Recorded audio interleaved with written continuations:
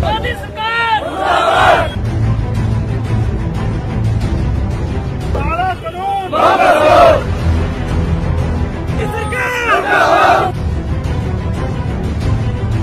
ਅੱਜ ਜਿਹੜਾ ਅਸੀਂ ਟੈਸਟ ਕੀਤਾ, ਪੂਰੇ ਪੰਜਾਬ ਦੀ ਸਾਰੀ ਮਸਜਿਦਾਂ ਦੇ ਇਮਾਮ ਆਪਣੇ ਆਪਣੇ ਇਲਾਕੇ 'ਚ ਉਹਨਾਂ ਨੇ ਕਾਲੇ ਬਿੱਲੇ ਲਾ ਕੇ ਝੰਡੇ ਲਾ ਕੇ ਨਮਾਜ਼ਾਂ ਪੜ੍ਹੀਆਂ।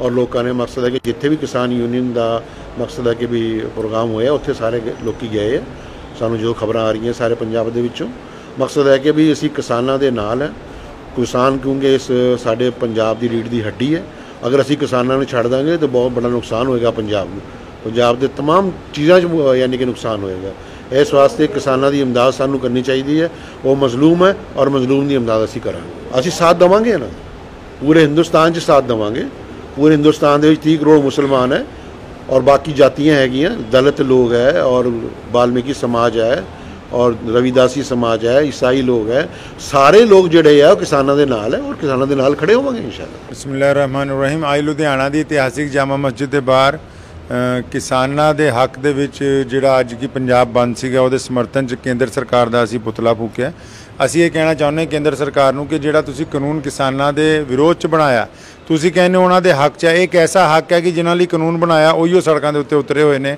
ਉਹਨਾਂ ਦੀ ਵਜ੍ਹਾ ਨਾਲ ਹੀ ਰੇਲ ਗੱਡੀਆਂ ਅੱਜ ਠੱਪ ਹੈ। ਤੇ ਐਸੇ ਕਾਨੂੰਨ ਨੂੰ ਬਦਲਾਓ ਜਿਹੜਾ ਬਹੁਤ ਜ਼ਰੂਰੀ ਹੈ। ਆਵਾਜ਼ੇ ਖਲਕ ਨਕਾਰਾ ਹੈ, ਖੁਦਾ ਹੁੰਦੀ ਹੈ। ਖਲਕ ਦੀ ਜਿਹੜੀ ਆਵਾਜ਼ ਹੈ, ਇਹ ਖੁਦਾ ਦਾ ਨਕਾਰਾ ਹੈ। ਇਸ ਲਈ ਕੋਈ ਐਸਾ ਕਾਲਾ ਕਾਨੂੰਨ ਨਾ ਬਣਾਓ, ਜਿਹਦੇ ਨਾਲ ਕਿਸਾਨਾਂ ਨੂੰ ਨੁਕਸਾਨ ਪਹੁੰਚੇ। ਕਿਸਾਨੀ ਦੇ ਨਾਲ ਹਰ ਦੇਸ਼ਵਾਸੀ ਜੁੜਿਆ ਹੋਇਆ ਉੱਥੋਂ ਹੀ ਅਸੀਂ ਅੰਨ ਜਲ ਖਾ ਰਹੇ ਹਾਂ।